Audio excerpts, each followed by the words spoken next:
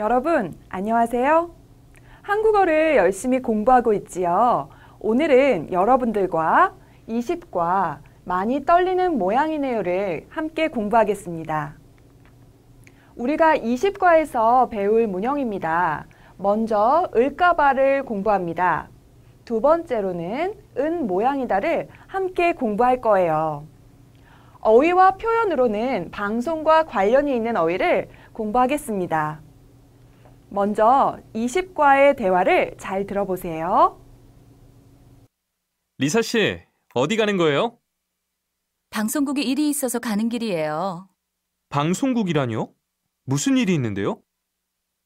한국에 사는 외국인들이 나오는 프로그램에 출연하거든요. 오늘은 출연자들이 자기가 경험한 문화 차이에 대해 말할 거예요.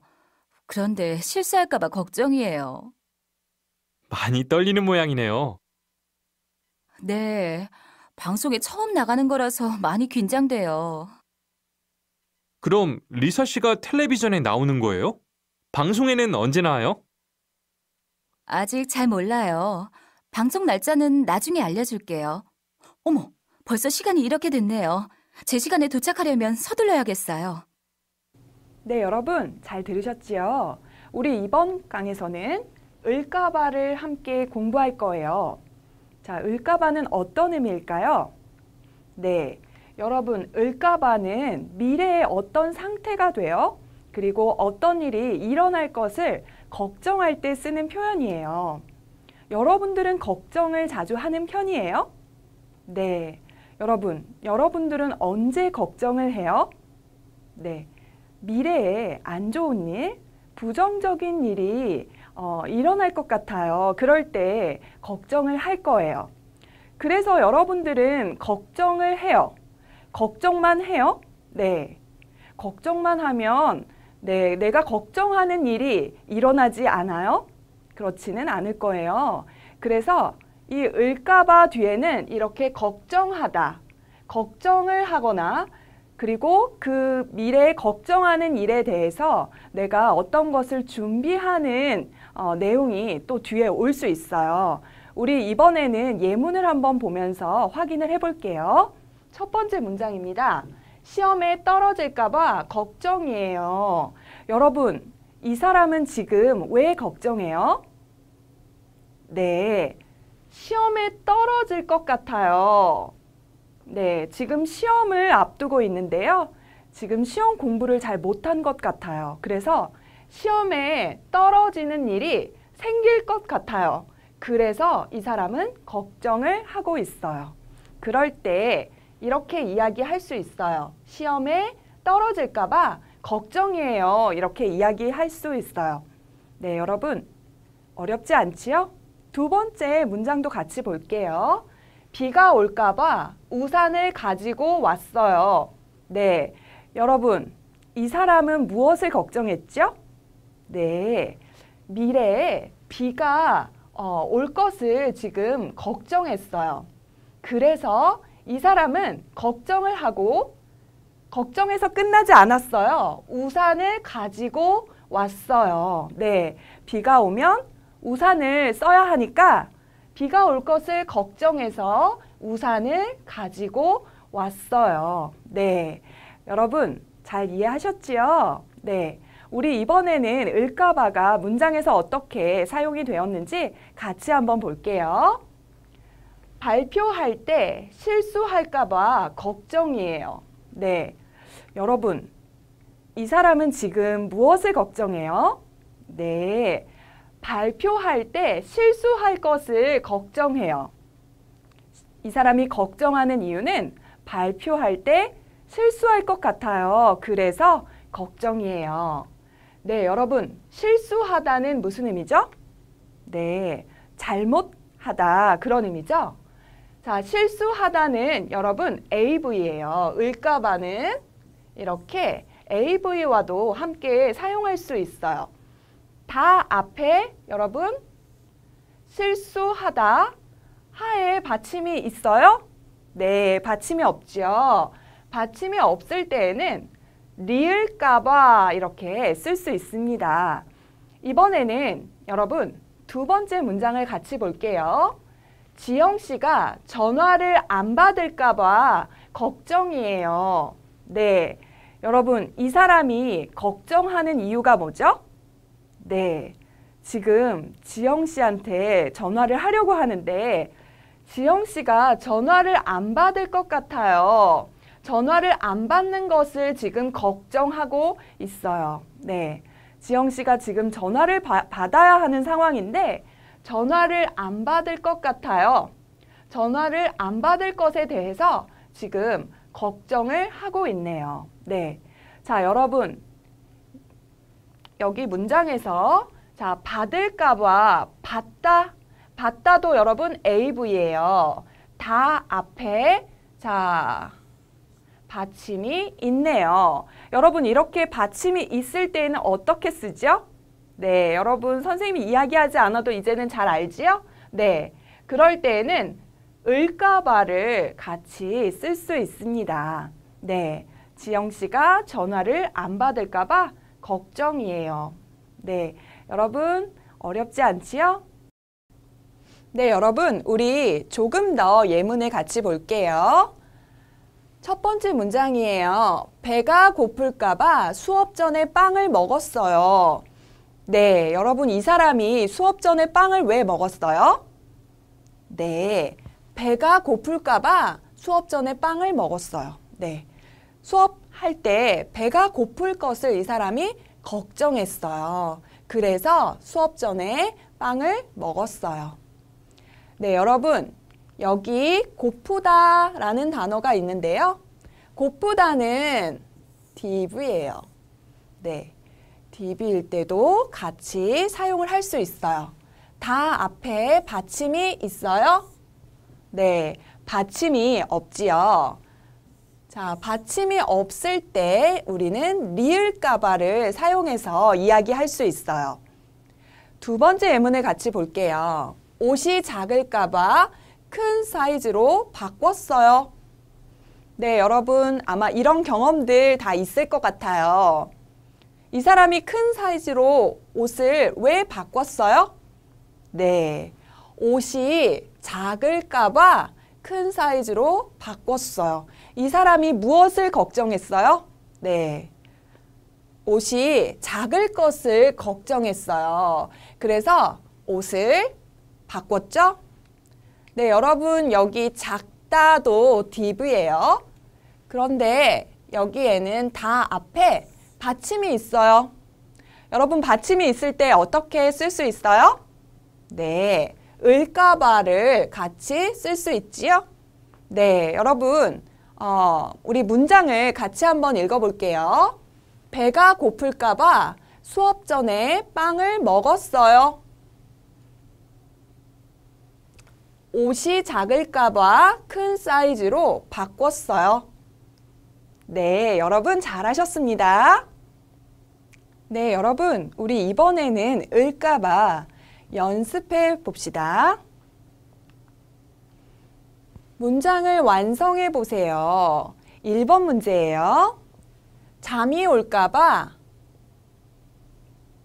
네, 여러분들이 뒤에 어떤 문장이 올 수 있는지 한번 생각을 해보고 문장을 완성해 보세요. 네. 여러분 어떻게 만들었어요? 네. 커피를 두 잔이나 마셨어요. 여러분, 이 사람이 무엇을 걱정했어요? 네. 잠이 올 것을 걱정했어요. 잠이 올 것을 걱정해서 어떤 행동을 했어요? 네. 미리 커피를 두 잔이나 마셨어요. 네. 잠이 올까봐 커피를 두 잔이나 마셨어요. 네, 여러분 커피를 마시면 잠이 잘 안 오잖아요. 그래서 이 사람은 어, 잠이 올 것을 걱정하고 커피를 두 잔이나 마셨어요. 네. 2번 문제 볼게요. 중요한 일을 잊어버릴까봐. 네, 여러분 어떻게 만들었어요? 네, 이렇게 이야기할 수 있죠? 메모해 놓았어요. 네, 여러분 중요한 일은 잊어버리면 안 되잖아요. 그래서 중요한 일을 잊어버릴 것을 이 사람이 걱정했어요. 그래서 메모해 놓았어요. 음, 여기에서도 을까봐를 사용해서 이야기했네요. 3번 문제 계속 볼게요. 식당에 사람이 많을까봐 네, 여러분 어떻게 만들었어요? 네, 미리 예약해 놓았어요. 여러분 친구들을 만나려고 해요. 이 사람이 친구들을 만나서 밥을 먹으려고 하는데 식당에 사람이 많으면 오래 기다려야 돼요. 그래서 이 사람은 무엇을 걱정했어요? 네, 식당에 사람이 많을 것을 걱정했어요. 그것을 걱정해서 미리 예약해 놓았어요. 네, 잘하셨습니다. 다음 문제예요. 내일 아침에 일찍 못 일어날까 봐 어떻게 하셨어요? 알람 시계를 맞춰 놓았어요. 여러분, 여러분들 중에는 부모님과 함께 사는 친구들도 있지만 아마 혼자 살고 있는 친구들도 많을 거예요. 그런데 내일 중요한 약속이 있어요. 중요한 일이 있어요. 그래서 아침에 일찍 일어나야 해요. 그런데 이 사람은 무엇을 걱정했어요? 네. 아침에 일찍 못 일어날 것을 걱정했어요. 그래서 무슨 행동을 했어요? 네. 문제가 생기지 않게, 걱정하는 일이 생기지 않게 알람 시계를 맞춰 놓았어요. 네. 여러분도 이런 상황들이, 이런 경험들이 많이 있었죠? 네. 다음 문제 계속 볼게요. 영화가 재미없을까봐. 네. 여러분, 어떻게 만들었어요? 이렇게 말할 수 있어요. 걱정했는데 재미있었어요. 라고 이야기할 수 있겠죠?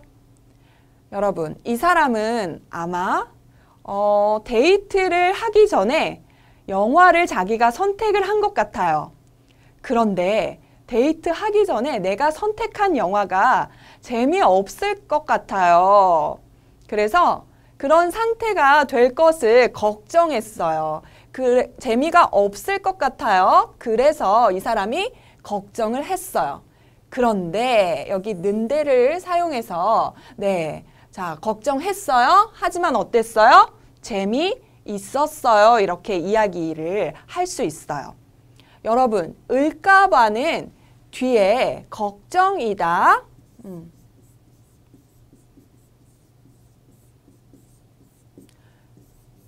걱정이 되다.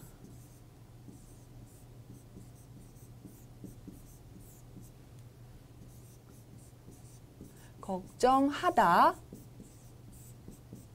이렇게 다양한 표현들이 같이 올 수 있어요.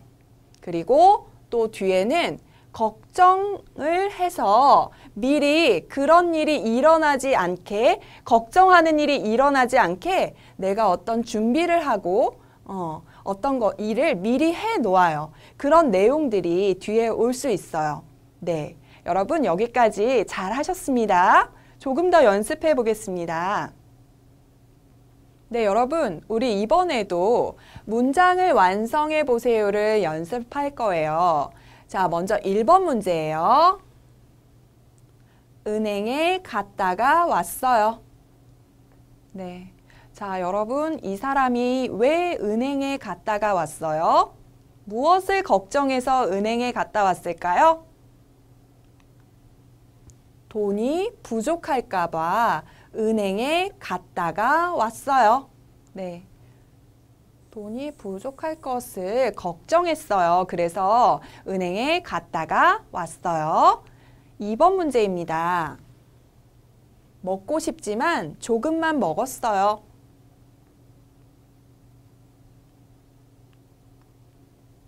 답은 살이 찔까봐 먹고 싶지만 조금만 먹었어요. 아마 이 수업을 듣고 있는 여학생들 중에는 이런 걱정을 하는 여학생들이 많을 것 같아요. 이 사람이 걱정하는 게 뭐예요? 네. 살이 찌는 상태가 될 것을 지금 걱정해요. 그래서 이 사람은 먹고 싶지만 어땠어요? 먹지 않고 조금만 많이 먹 먹지 않고 조금만 먹었어요. 네, 여러분 다음 문제 계속 볼게요. 담배를 피우지 않아요. 네, 정답은 건강이 안 좋아질까 봐, 안 좋아질까 봐 담배를 피우지 않아요. 이 사람이 담배를 피우지 않는 이유가 뭐예요? 건강이 안 좋아질 것 같아요. 그래서 이 사람은 담배를 피우지 않아요. 다음 문제 계속 볼게요. 미리 표를 예매했어요. 영화표가 매진될까 봐 미리 표를 예매했어요. 이 사람이 미리 예, 표를 예매한 이유가 뭐예요, 여러분? 무엇을 걱정했어요? 그래서 미리 표를 예매했어요. 네, 영화표가 매진될 것 같아요. 매진될 것을 걱정했어요. 그래서 미리 표를 예매했어요. 네. 아마 주말에는 우리 영화표가 매진이 잘 될 수 있어요. 그래서 주말에는 우리가 영화를 보기 전에 미리 어, 표를 예매해 놓고 가는 게 좋겠죠? 5번 문제 볼게요. 음식을 많이 준비했어요. 여러분, 이 사람이 무엇을 걱정해서 음식을 많이 준비했을까요? 네, 음식이 부족할까 봐 음식을 많이 준비했어요. 이 사람이 아마 지금 집들이, 집들이를 하려고 하는 것 같아요. 그런데 집들이에 손님들이 많이 와서 음식이 부족할 것을 부족한 상태가 되는 것을 걱정했어요. 그래서 음식을 많이 준비했어요. 네, 여러분 잘하셨습니다. 우리 조금 더 연습을 해봅시다. 대화를 완성해 보세요. 목이 아파요? 목소리가 작아서 못 들었어요. 아이가 자고 있는데 네, 여러분 대화를 완성해 보세요. 이렇게 이야기할 수 있지요? 아이, 아이가 잠에서 깰까봐, 네, 잠에서 깰까봐 작게 이야기했어요. 이 사람은 무엇을 걱정했어요? 네, 아이가 깨는 것을, 깨는 것을 걱정해서 작게 이야기했어요. 네, 큰 소리로 말하면 아이가 깰 수 있으니까 깰까봐, 잠에서 깰까봐 작게 이야기했어요. 2번 문제 계속 볼게요. 아직 시간이 많이 남았는데 벌써 출발했어요? 네. 이렇게 말할 수 있죠. 약속 시간에 늦을까봐 일찍 출발했어요. 이 사람은 조금 걱정이 많은 사람인 것 같아요. 조금 부지런한 사람인 것 같아요. 약속 시간에 늦을까봐 일찍 출발했어요. 걱정하는 것이 뭐예요? 약속 시간에 늦는 것을 걱정해서, 그죠? 일찍 출발했어요. 네. 여러분도 친구와 약속을 했을 때 약속 시간에 늦을까봐 일찍 출발을 했나요? 네. 늦지 않게 일찍 출발을 하는 게 좋겠죠. 다음 문제 계속 볼게요. 많이 아팠는데 왜 부모님께 말하지 않았어요? 네, 이 사람이 많이 아팠어요. 그런데 부모님께 말하지 않았어요. 왜 이야기하지 않았어요? 네, 대화를 여러분들이 완성해 보세요.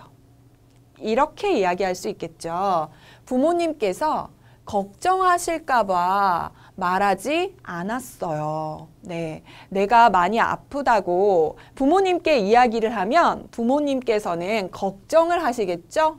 여기도 걱정이 있네요. 부모님이 걱정하실 것을 걱정해서 말하지 않았어요. 네.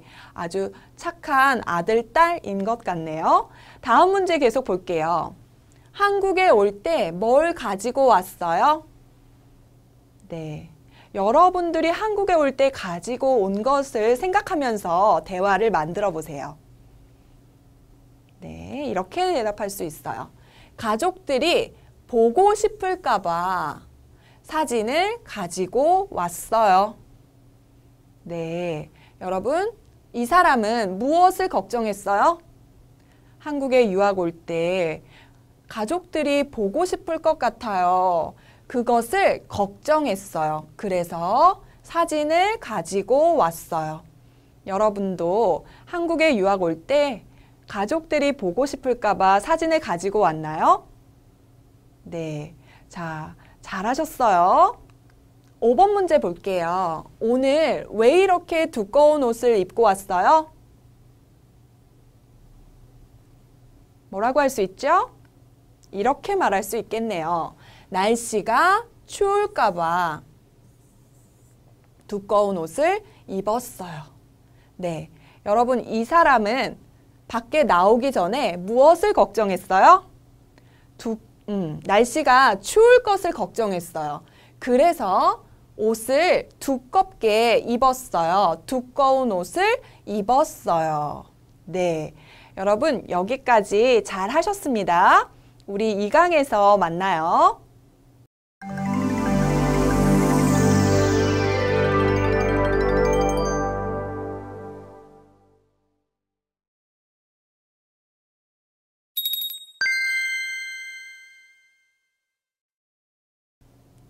네, 여러분, 우리 이번에는 여러분들하고 은 모양이다를 같이 공부할 거예요. 은 모양이다는 어떤 의미일까요? 먼저 선생님이 그림을 그려볼 거예요. 잘 그리지는 못하지만 여러분 잘 보세요. 여러분 여기 어떤 사람이 있는데요. 이 사람이 지금 뭐 하고 있어요? 네, 웃고 있어요. 네. 얼굴이 웃는 얼굴이에요. 웃고 있어요. 자, 여러분 이 사람을 보면서 무슨 생각을 할 수 있어요? 네, 이 사람을 보고 우리는 이 사람이 아, 좋은 일이 있는 것 같아요. 이렇게 추측할 수 있지요? 그럴 때 우리는 이렇게도 이야기할 수 있어요. 이 사람이 웃는 걸 보니까 좋은 일이 있는 모양이에요. 이 사람이 웃는 걸 보니까 기분이 좋은 모양이에요. 이렇게 이야기할 수 있어요. 은 모양이다는 어떤 것을 봤어요. 어떤 이야기를 들었어요. 보고 들은 것을 근거로 해서 다른 것을 추측할 때 우리는 은 모양이다를 사용할 수 있습니다. 먼저 여러분 예문을 같이 볼게요. 나오카 씨 얼굴을 보니까 기분이 좋은 모양이에요. 네. 자, 여러분. 나오카 씨 얼굴을 이 사람이 봤어요. 나오카 씨 얼굴을 보니까 어, 기분이 좋은 모양이에요. 이렇게 이야기를 했네요. 얼굴을 보고 이렇게 추측한 거죠. 두 번째 문장도 볼게요. 운동복을 입은 걸 보니 운동을 하러 가는 모양이에요. 네, 여러분. 저하고 어떤 친구가 이제 다른 사람을 보면서 대화할 수 있어요. 제가 옆에 있는 친구한테 이렇게 이야기한 거예요. 어떤 사람이 지금 운동복을 입고 운동을 하러 가는 것이다라고 추측을 했는데요. 운동복을 입고 걸어가고 있는 사람을 봤어요. 운동복을 입, 입은 사람을 보고 우리는 그 사람을 본 후에 그것을 근거로 해서 이런 추측을 할 수 있어요. 네. 운동복을 입은 걸 보니 그 사람이 운동을 하러 가는 모양이에요. 직접 물어봤나요? 아니에요. 운동복을 입은 모습만 보고 그 모습을 보고 어, 우리는 이런 의미를 추측할 수 있는 거예요. 운동하러 가는 모양이에요. 이렇게 추측을 했어요. 그러면 우리 이번에는 문장에서 어떻게 사용되었는지 같이 볼게요. 요즘 지영 씨가 안 보이는 걸 보니까 바쁜 모양이네. 네.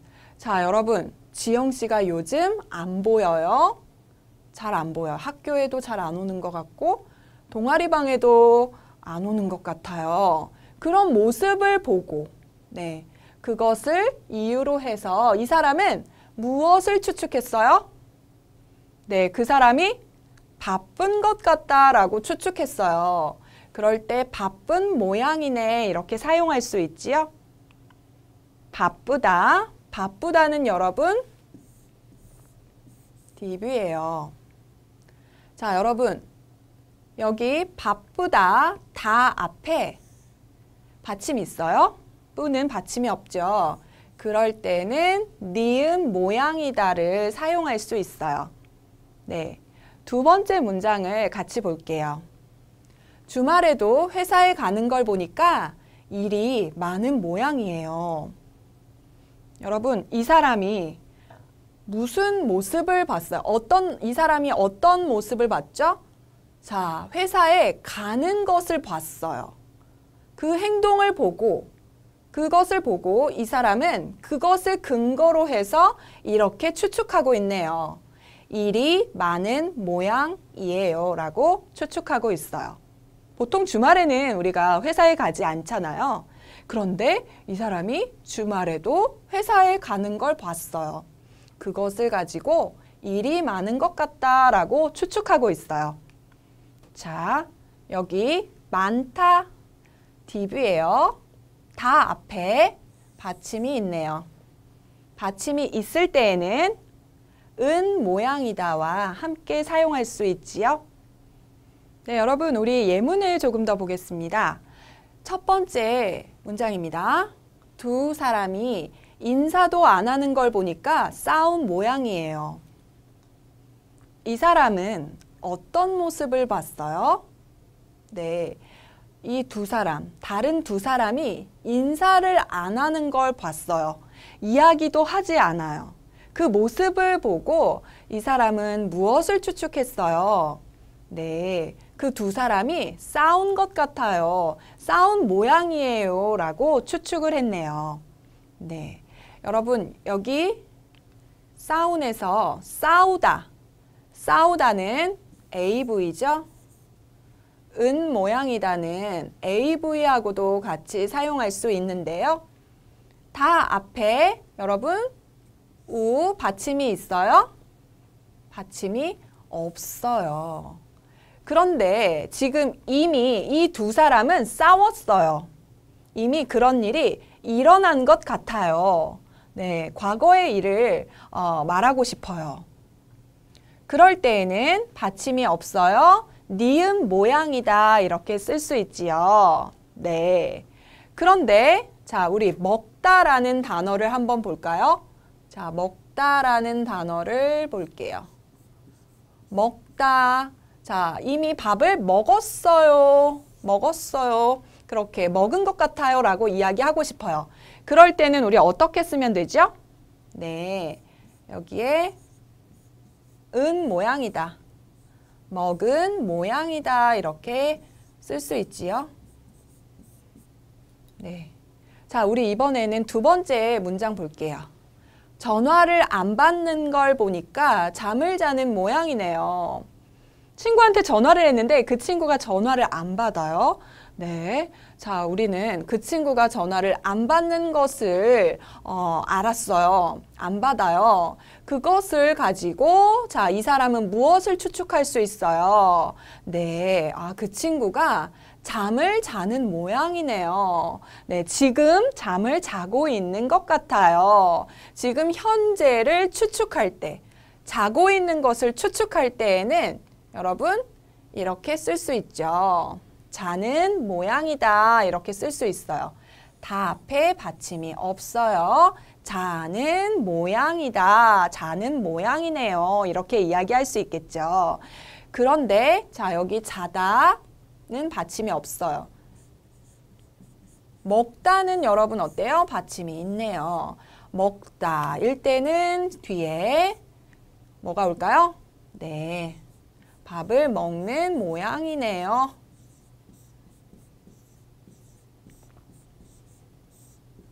이렇게 쓸 수 있어요. 현재 상황을 추측할 때에는 받침이 없어요, 받침이 있어요. 모두 는 모양이다를 사용할 수 있어요. 다음 문장 볼게요. 하늘을 보니까 비가 올 모양이에요. 여러분, 지금 하늘의 모습이 어때요? 네, 하늘의 모습이 지금 하늘에 구름이 많이 있어요, 구름. 여러분, 검은색 구름이 이렇게 많이 있어요, 하늘에. 자, 날씨가 어때요? 흐려요. 자, 우리는 이 하늘의 모습을 보고 그 모양을 보고 무엇을 추측할 수 있어요? 지금은 비가 오지 않지만 미래에, 미래에 비가 올 모양이에요. 이렇게 이야기할 수 있죠. 비, 미래에 비가 올 것 같아요. 라고 추측할 수 있어요. 그럴 때에는 여러분, 여기 오다 라는 단어가 있는데요. 다 앞에 받침이 없어요. 그럴 때는 어떻게 쓸 수 있죠? 네. 비가 올, 리을 모양이다를 사용할 수 있어요. 그래서 비가 올 모양이에요. 이렇게 이야기할 수 있어요. 자, 그러면 여러분, 우리 지금 먹다, 받침이 있는 먹다는 어떻게 사용할 수 있어요? 네. 자, 어떤 사람이 식당에 갔어요. 식당에 가서 이제 손을 씻었어요. 여러분, 이 사람이 왜 밥을 먹기 전에 우리가 손을 씻는 이유가 뭐죠? 네. 밥을 먹기 위해서 손을 씻죠? 그래서 그런 모습을 보고 우리는 추측할 수 있어요. 네. 받침이 있어요. 그럴 때는 여러분 어떻게 할 수 있어요? 네. 미래에 어떤 일이 일어날 것을 추측할 때에는 밥을 먹을, 먹을 모양이다. 이렇게 쓸 수 있죠? 밥을 먹을 모양이다. 미래에 어떤 일이 일어날 것을 추측해요. 미래의 일을 추측할 때는 이렇게 쓸 수 있어요. 네. 여러분, 잘 기억해 놓으세요. 네, 여러분, 잘 이해하셨죠? 우리 이번에는 연습을 같이 해 볼게요. 먼저 그림을 보고 추측해 보세요. 여러분, 그림을 한번 보세요. 이 그림을 보고 우리는 무엇을 추측할 수 있죠? 네. 여기는 어디예요? 네. 맛있는 식당. 식당이에요. 그런데 사람들이 많이 기다리고 있네요. 우리는 이 모습을 보고 이 상황을 보고 무엇을 추측할 수 있어요? 네. 아, 이 식당 음식이 어때요? 맛있을 것 같아요. 아직 먹어보지 않았지만 그럴 것 같아요. 아직 경험하지 않은 일에 대해서 추측할 때 쓸 수 있어요. 여러분, 한번 여러분들이 직접 추측을 한번 해보세요. 문장을 한번 만들어 보세요. 이렇게 말할 수 있죠. 식당은 음식이 맛있는 모양이에요. 네. 음식이 맛있어서 사람들이 이렇게 줄을 서서 기다리는 것 같아요. 이 식당은 음식이 맛있는 모양이에요. 아직 음식을 먹지 않았어요. 먹어보지 않았어요. 하지만 이 사람은 왜 이런 추측을 했어요? 네. 식당 앞에 이렇게 많은 사람들이 줄을 서서 기다리고 있는 모습을 보고 아, 이 식당 음식이 맛있는 것 같아요. 이렇게 추측할 수 있어요. 다음 문제 볼게요. 여러분, 이 그림은 어때요? 지금 이 사람이 일어났는데 얼굴 표정이 별로 좋지 않네요. 네. 그리고 시계를 보니까 아, 시간이 많이 지난 것 같아요. 자, 여러분, 여러분 이런 경험이 많이 있지요? 네. 자, 한번 여러분들이 문장을 만들어 보세요. 어떻게 말할 수 있죠? 이렇게 말할 수 있죠? 이 사람은 늦잠을 잔 모양이에요. 네. 지금 얼굴은 좀 놀란 얼굴이고요. 시계는 지금 알람 소리가 크게 들리고 있는데, 어, 어때요? 늦게 일어난 것 같아요. 이 사람은 늦잠을 잔 모양이네요. 이렇게 이야기할 수 있죠? 이 사람은 늦잠을 잔 모양이에요. 네. 다음 문제 볼게요. 이 사람은 지금 음식을 먹고 있네요. 음식을 보니까 음식의 색깔이 빨간색이에요. 그리고 이 사람은 지금 계속 물을 마시고 있어요. 네. 여러분, 이 모습을 보고 우리는 무엇을 추측할 수 있을까요? 이런 추측을 할 수 있죠. 이 음식이 많이 매운 모양이에요. 네. 이 사람이 먹는 음식은 빨간색이고 또 음식을 먹으면서 지금 계속 힘들어하고 또 물을 계속 마시고 있어요. 그런 모습을 보고 우리는 그것을 이유로, 그것을 근거로 해서 음식이 매운 것 같다라고 추측할 수 있죠. 이 음식이 많이 매운 모양이에요. 네. 자, 다음 문제 계속 볼게요. 네. 지금 이 두 사람이 뭐 하고 있어요? 어, 공원에서 손을 잡고 걸어가고 있어요. 네. 우리는 이 모습을 보고 무엇을 추측할 수 있나요? 이런 추측을 할 수 있겠죠? 두 사람이 서로 좋아하는 모양이에요. 네. 손을 잡고 걸어요. 보통 친구 사이에는 우리 손을 잡고 걷지 않잖아요. 그래서 우리는 이 두 사람의 모습을 보고 이런 추측을 할 수 있어요. 두 사람이 서로 좋아하는 모양이에요. 이렇게 이야기할 수 있겠죠? 또 두 사람이 지금 데이트를 하는 모양이에요. 이렇게 말할 수 있겠네요. 네, 여러분 여기까지 잘 하셨어요. 자, 이번에는 이 사람이 무엇을 하고 있는지 그리고 이 사람이 어떤 것 같은지 한번 볼까요? 네, 이 사람 얼굴을 한번 보세요.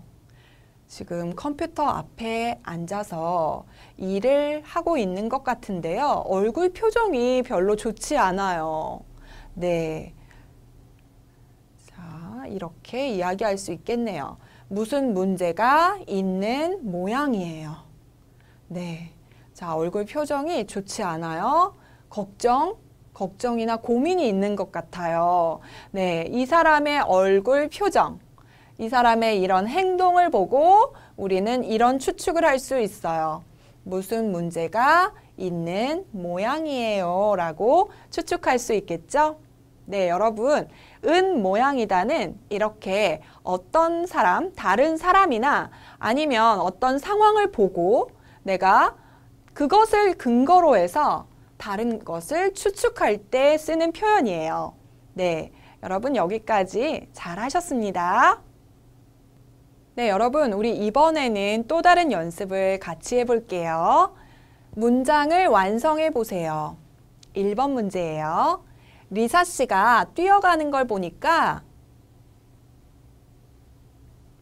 네. 어떻게 만드셨어요? 이렇게 만들 수 있죠? 수업 시간에 늦은 모양이에요. 네, 이 사람은 무엇을 추측했어요? 리사 씨가 수업 시간에 늦은 것 같다. 늦었을 거라고 추측하고 있어요. 네, 추측을 하는 이유가 뭐예요? 네, 뛰어가는 걸 보니까 그 뛰어가는 모습을 보고 늦은 것 같다, 늦은 모양이다 라고 추측하고 있네요. 네, 그래서 우리 은 모양이다는 이렇게 그렇게 추측하는 이유를 말하고 싶어요. 함께 이야기할 때 우리가 앞에서 배운 은 는 걸 보니까와 같이 자주 사용해요. 두 번째 문제 볼게요. 상우 씨가 웃는 걸 보니까 네. 여러분 어떻게 만드셨나요? 이렇게 만들 수 있죠? 좋은 일이 있는 모양이에요. 웃는 모습을 보고 좋은 일이 있는 것 같다고 추측하고 있네요. 네, 여러분 잘하셨어요. 3번 문제 계속 볼게요. 사람들이 울면서 영화관에서 나오는 걸 보니까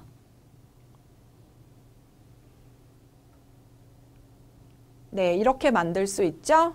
영화가 아주 슬픈 모양이네요.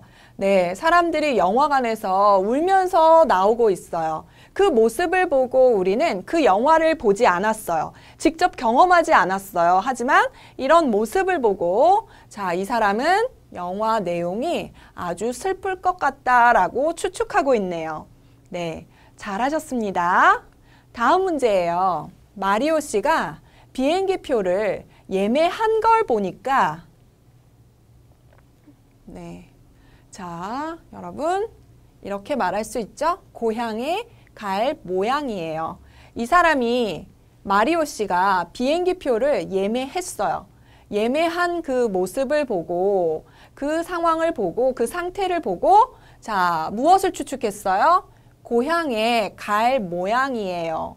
아직 방학을 하지 않았지만 방학 때 미래에 고향에 갈 것 같아요. 고향에 갈 모양이에요. 라고 추측했네요. 네, 여러분, 우리 마지막 문제를 볼게요. 사람들이 이 노래를 많이 부르는 걸 보니까 네. 사람들이 이 노래를 많이 부르는 모습을 보고 어떤 추측을 할 수 있을까요? 이런 추측을 할 수 있겠네요. 이 노래가 인기가 많은 모양이에요. 라고 추측할 수 있겠죠? 인기가 많은 노래는 사람들이 많이 좋아하기 때문에 그 노래를 많이 부르잖아요. 그래서 그런 노래를 많이 부르는 모습을 보고 이 사람은 이 노래가 인기가 많은 것 같다라고 추측을 하고 있어요. 네. 여러분, 우리 조금 더 연습을 계속 해볼게요. 네. 이번에는 우리 대화를 완성해 보세요를 연습하겠습니다. 1번 문제예요. 수원이 수업이 끝나기가 무섭게 교실에서 나갔어. 네. 대화를 완성해 보세요. 이렇게 완성할 수 있겠죠? 중요한 약속이 있는 모양이야. 네, 여러분. 지금 수업이 끝났어요. 수업이 끝났는데 수원이 수업이 끝나기가 무섭게 네. 끝나자마자 바로 교실에서 나갔어. 여러분, 수원의 이런 행동을 보고 우리는 무엇을 추측할 수 있나요? 네. 중요한 약속이 있는 모양이야. 이렇게 추측할 수 있겠죠? 잘하셨습니다. 2번 문제예요. 페이 씨가 주말인데 정장을 입고 가네요. 네. 자, 페이 씨가 주말인데 정장을 입고 가는 모습을 보고 어떤 것을 추측할 수 있을까요? 이런 추측을 할 수 있겠네요. 친구 결혼식에 가는 모양이에요. 보통 사람들은 주말에는 정장을 잘 입지 않죠. 특별한 약속이나 특별한 일이 없으면 정장을 입지 않고 편안한 옷을 입잖아요. 그런데 페이 씨가 주말인데 정장을 입고 가요. 그 모습을 보고 아, 친구 결혼식에 가는 모양이네요. 가는 모양이에요. 라고 추측할 수 있어요. 아니면 또 뭐라고 할 수 있을까요? 네. 중요한 약속이 있는 모양이에요. 라고도 추측할 수 있겠네요. 다음 문제 계속 볼게요. 이번에 수원 씨가 시험을 잘 봤대요. 여러분, 수원 씨가 시험을 잘 봤어요? 그 결과를 듣고, 그 결과를 듣고 우리는 무슨 추측을 할 수 있어요? 네, 이런 추측을 할 수 있어요. 수원 씨가 아주 열심히 공부한 모양이네요. 네, 여러분, 수원 씨가 시험을 잘 본 이유는 왜 잘 봤을까요? 네, 열심히 공부를 해서 잘 본 것 같다, 같다고 지금 추측하고 있어요. 그럴 때 우리는 은 모양이다를 사용해서 이렇게 이야기할 수 있겠죠? 은 모양이다는 우리가 본 것, 어떤 것을 본 것, 그것을 가지고 추측할 때도 쓸 수 있지만 이렇게 잘 봤대요. 잘 봤다고 해요. 내가 들은 것을 가지고 그것을 가지고 다른 추측을 할 때에도 은 모양이다를 사용할 수 있어요. 여러분 잘 기억해 놓으세요. 다음 문제 계속 볼게요. 줄리앙 씨가 오늘도 학교에 오지 않았어요. 네, 여러분, 줄리앙 씨가 어제도 학교에 안 왔어요. 오늘도 학교에 오지 않았어요. 아, 조금 걱정이 되네요. 네, 여러분, 이런 줄리앙 씨의 모습을 보고 우리는 무엇을 추측할 수 있나요? 네. 감기에 걸려서 많이 아픈 모양이네요. 네. 아파서 학교에 안 온 것 같다고 이렇게 추측을 할 수 있어요. 감기에 걸려서 많이 아픈 모양이네요. 라고 추측할 수 있겠죠? 잘하셨습니다. 5번 문제예요. 이 식당에서 사람들이 저 음식을 많이 먹네요. 네. 이 사람은 지금 어디에 있어요? 네. 식당에 있어요. 식당에 가서 음식을 주문하려고 하는데 무슨 음식이 맛있는지 몰라요. 그래서 옆에 이제 사람들이 어떤 음식을 먹는지 한번 봤어요. 그런데 사람들이 저 음식을 많이 먹어요. 특별히 많이 먹는 음식이 있어요. 자, 그 모습을 보고 우리는 무엇을 추측할 수 있어요? 네. 이렇게 추측할 수 있어요. 저 음식이 제일 맛있는 모양이에요. 라고 추측할 수 있지요? 네. 여러분들도 식당에서 어떤 음식을 어, 먹어야 할지 몰라요. 어떤 음식이 맛있는지 모를 때에는 한번 이렇게 어, 사람들이 어떤 음식을 많이 먹는지 보면 알 수 있을 것 같아요. 네, 여러분 여기까지 연습을 아주 잘 하셨습니다. 우리 다음 강에서 만나요.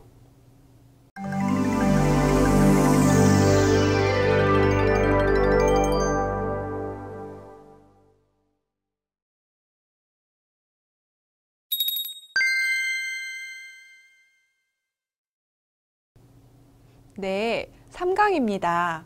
우리 이번 강에서는 듣고 확인해 봅시다를 먼저 볼 거예요. 여러분, 대화를 먼저 잘 들어보세요. 20과.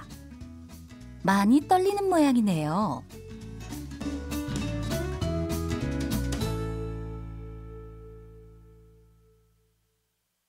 리사 씨, 어디 가는 거예요? 방송국에 일이 있어서 가는 길이에요. 방송국이라뇨? 무슨 일이 있는데요?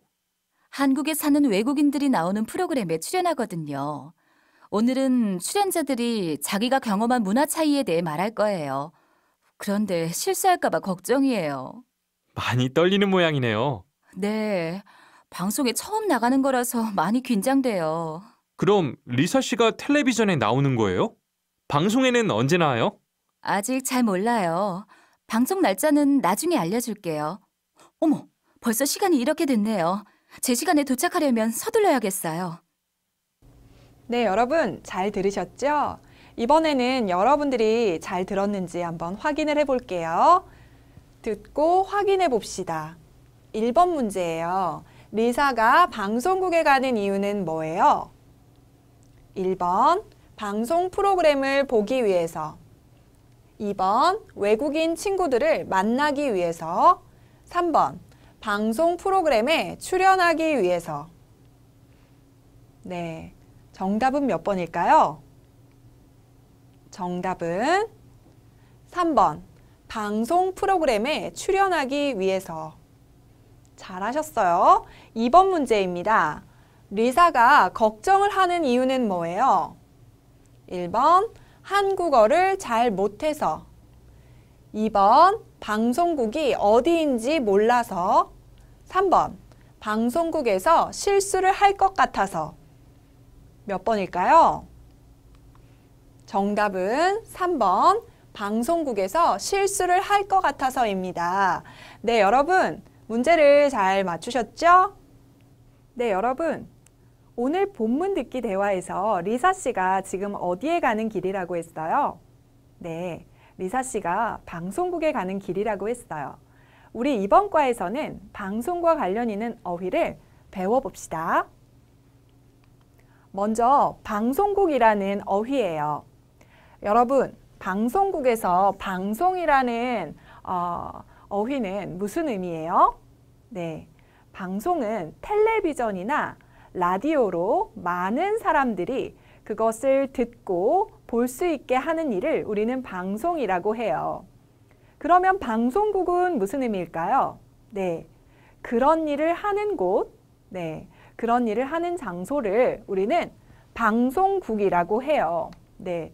아마 여러분들 중에는 이 방송국이라는 어휘를 미리 알고 있는 친구들이 많을 것 같은데요. 예문을 한번 같이 볼게요. 음악 프로그램에 제가 좋아하는 가수가 나오는데 방송국에 같이 갈래요? 네. 여러분, 이 사람이 친구에게 같이 방송국에 가자고 했어요. 왜요? 네. 음악 프로그램에 제가 좋아하는 가수가 나와요. 그래서 그 가수를 보러 같이 방송국에 같이 갈래요? 라고 이야기했네요. 네. 여러분도 이미 어, 어떤 가수를 보러, 배우를 보러 방송국에 가본 친구들도 있을 것 같아요. 네. 다음 어휘를 계속 볼게요. 출연자라는 어휘예요. 네, 여러분 우리 앞에서 출연하다라는 어휘를 공부했지요. 출연하다. 출연하다는 여러분 공연, 영화, 드라마, 텔레비전 프로그램에 나가다, 나오다 그런 의미가 있지요. 그런데 출연자는 그런 공연이나 영화, 드라마, 텔레비전 프로그램에 나가는 사람, 나오는 사람을 우리는 출연자라고 이야기할 수 있어요. 네, 예문을 한번 같이 보겠습니다. 사회자가 출연자에게 질문했다. 네, 어떤 프로그램에서 그 진행을 하는 사람을 우리는 사회자라고 해요. 그 사회자가 그 프로그램에 나온 출연자에게 질문했어요. 네, 다음 어휘를 볼게요.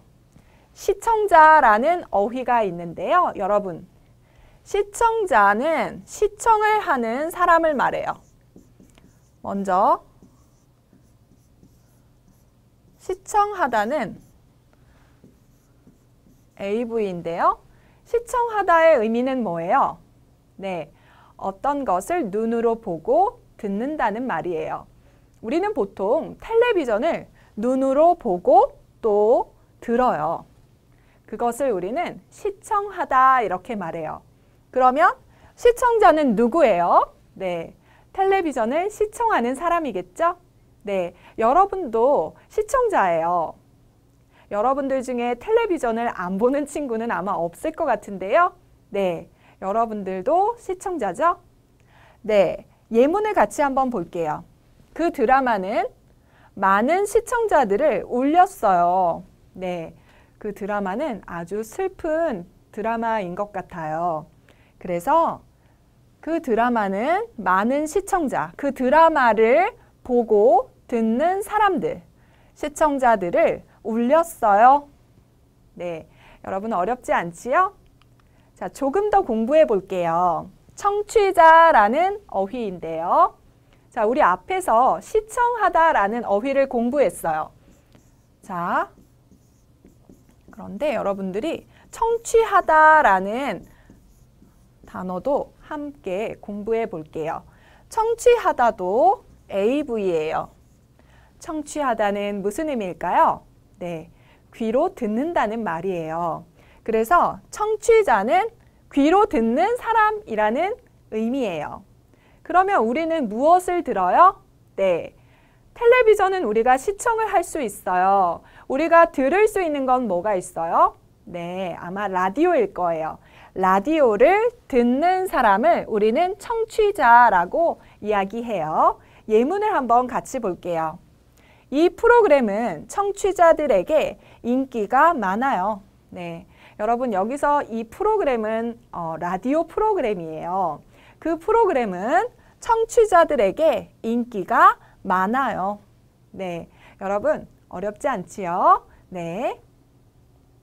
네, 여러분 우리 이번에는 본문 대화의 내용을 알아봅시다. 네. 자, 여러분, 이번 대화는 줄리앙 씨와 리사 씨가 길에서 이야기하는 대화예요. 네, 먼저 줄리앙 씨가 이야기합니다. 리사 씨, 어디 가는 거예요? 네, 리사 씨가 지금 어, 어디에 가고 있어요. 그래서 그 모습을 보고 리사 씨한테 줄리앙 씨가 이렇게 물어봤어요. 자, 그러니까 리사 씨가 이렇게 말해요. 방송국에 일이 있어서 가는 길이에요. 네, 여러분, 리사 씨가 방송국에 왜 갈까요? 네, 아마 프로그램에 출연하기 위해서 가는 것 같죠? 방송국에 일이 있어서 출연하기 위해서 가는 길이에요. 자, 다음 대화를 계속 볼게요. 방송국이라니요? 무슨 일이 있는데요? 네.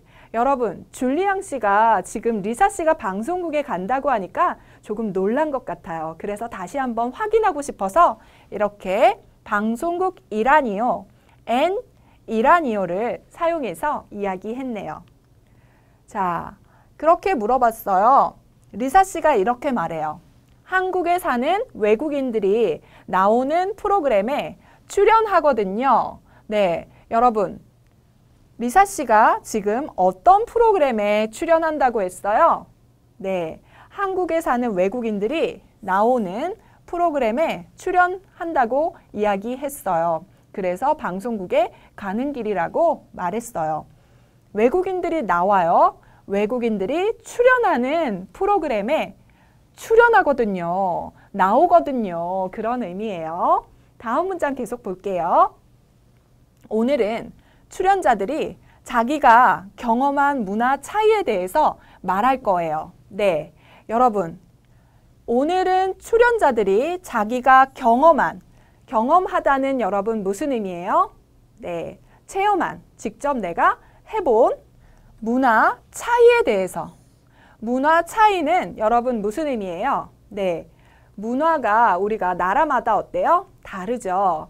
문화가 달라요. 다른 점에 대해서 말할 거예요. 같지 않은 것에 대해서 말할 거예요. 그런 의미예요. 그런데 리사 씨는 지금 걱정하고 있어요. 네. 무슨 걱정을 하고 있어요? 네. 실수할까봐 걱정이에요. 라고 이야기했어요. 네. 자기가 지금, 어, 익숙하지 않은 곳에서, 그쵸? 방송국에 가서 출연을 하는 일은 익숙하지 않은 일이잖아요. 네. 그래서 실수할까봐 걱정이에요. 네. 실수할 것을 걱정하고 있어요. 네. 그 이야기를 듣고 줄리앙 씨가 이렇게 말해요. 많이 떨리는 모양이네요. 네. 여러분, 줄리앙 씨가 리사 씨의 이야기를 듣고 이렇게 많이 떨리는 것 같다라고 추측을 하고 있어요. 여러분, 떨리다 라는 어휘가 새로 나왔는데요. 여러분, 여러분들은 언제 떨렸어요? 네.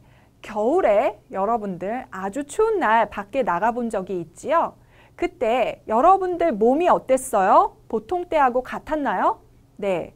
날씨가 너무 춥거나 긴장이 될 때, 중요한 시험이 있어요. 그럴 때 우리는 몸이 이렇게 떨려요. 그리고 목소리도 보통 때와는 다르게 어, 떨릴 수 있어요. 네. 지금 리사 씨는 방송국에 왜 가요? 네. 어떤 프로그램에 출연하기 위해서 가는 길이에요. 그래서 리사 씨는 지금 떨려요. 떨릴 것 같다라고 추측하고 있어요. 네. 자, 리사 씨가 이렇게 이야기해요. 방송에 처음 나가는 거라서 많이 긴장돼요. 여러분, 방송에 나가요. 이거 무슨 의미예요? 네. 이 의미는 방송에 출연하다 그런 의미죠. 방송에 처음 출연하는 거라서 많이 긴장돼요. 여러분, 여러분들은 언제 긴장이 됐어요? 네. 중요한 시험을 보기 전에 그리고 어떤 중요한 면접을 보기 전에 많이 긴장이 돼요. 긴장이 되어서 여러분들 긴장이 되었을 때는 어떤 행동이 나타나요?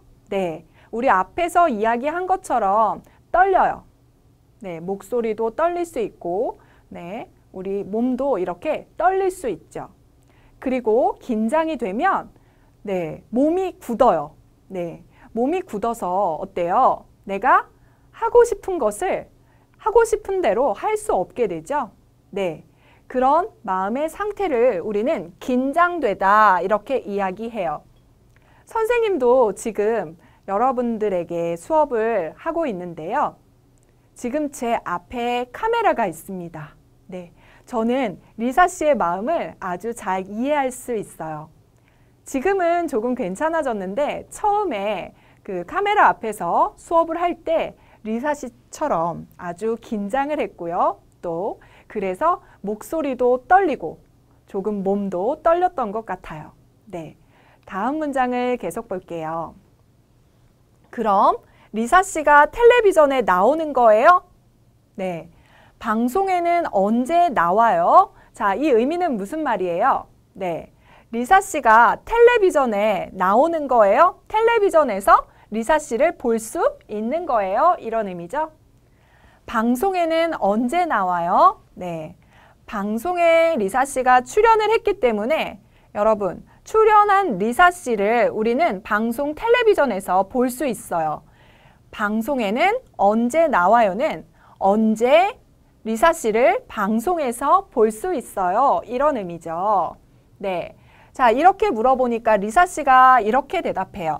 아직 잘 몰라요. 언제 방송이 되는지 방송 날짜를 잘 몰라요. 네. 우리는 방송 날짜 이렇게 이야기하죠. 방송 날짜는 나중에 알려줄게요. 다음에 알려줄게요. 자, 어머. 어머는 여러분 언제 쓰는 표현이죠? 네. 깜짝 놀랐을 때 우리가 어머 이렇게 이야기하죠. 벌써 시간이 이렇게 됐네요. 네. 여러분, 리사 씨가 줄리앙 씨와 이야기하다가 보니까 시간이 이렇게 된 것을 모르고 음, 길게 이야기를 했어요. 그래서 깜짝 놀라서 이렇게 이야기를 했네요. 제 시간에 도착하려면 서둘러야겠어요. 네. 여러분, 제 시간. 제 시간은 어떤 의미예요? 네. 제 시간은 제 시간은 정해진 시간, 자기의 시간이라는 그 말이에요. 제 n이라는 표현이 있는데요. 제 n이라는 것은 정해진 자기의 n이라는 말이에요. 여러분, 제 시간, 제 자리,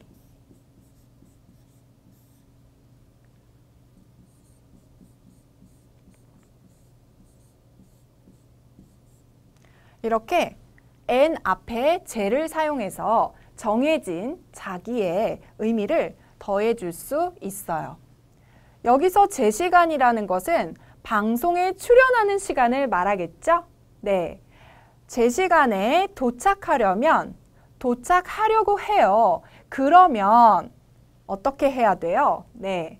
서둘러야겠어요. 네. 지금 시간이 많이 지나서 그 시간 안에 제 시간에 도착하기 위해서는 서둘러야 해요. 네. 여러분, 서두르다라는 AV가 있어요. 네. 서두르다는 몸을 바쁘게, 급하게 움직인다는 말이죠. 네. 그런데 여기서 서둘러야겠어요. 서두르다가 뒤에 모음과 만나요. 어야겠어요.